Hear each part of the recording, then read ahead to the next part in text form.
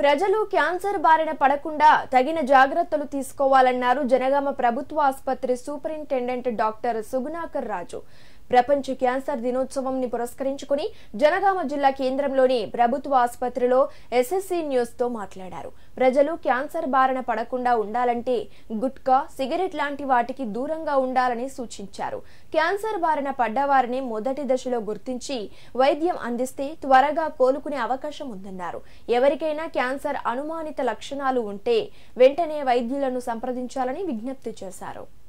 ప్రస్తుతము మన జనగామ డిస్టిక్ హాస్పిటల్లో ఏడు వందల ఇరవై తొమ్మిది మంది క్యాన్సర్ రోగులకు చికిత్స అందిస్తున్నాం. అందులో మరి ప్రధానంగా చూసుకున్నట్లయితే మనకు బ్రెస్ట్ క్యాన్సర్ ఒకటి గర్భసంచి క్యాన్సర్ రెండు లంగ్ క్యాన్సర్ మూడు ఓరల్ క్యాన్సర్స్ నాలుగు ఈ నాలుగు రకాల క్యాన్సర్స్ ఉన్నాయి. మిగతా క్యాన్సర్స్ కూడా ఉన్నాయి కానీ చాలా తక్కువ ఉన్నాయి. క్యాన్సర్ వచ్చినటువంటి అంటే ముందస్తు లక్షణాలలో ఉదాహరణకు ఆకలి తగ్గిపోవడం బరువు తగ్గడం మరియు కడుపు ఉబ్బడం మరి శరీరంపై చిన్న చిన్న గడ్డలుగా మారడం నల్లటి మచ్చలు రావడం ఇలాంటి అన్ని కూడా కొన్ని సాంకేతాలు ఉంటాయి అంతేకాకుండా హెయిర్ ఫాల్ అంటే తల వెంట్రుకలు రాలిపోవడము మరి మనిషి అంతా కూడా తెల్లబారినట్టు అవడము మరి మోషన్ పోయినా లేకపోతే యూరిన్ పోయినా రక్తం పడడం రక్తం కారడం ఇవన్నీ కూడా మొదటి దశల్లోనే మరి ఇది క్యాన్సర్ లక్షణాలు ఉన్నాయా లేదా? మరి కుటుంబంలో కూడా కుటుంబ చరిత్ర కూడా ముఖ్యం.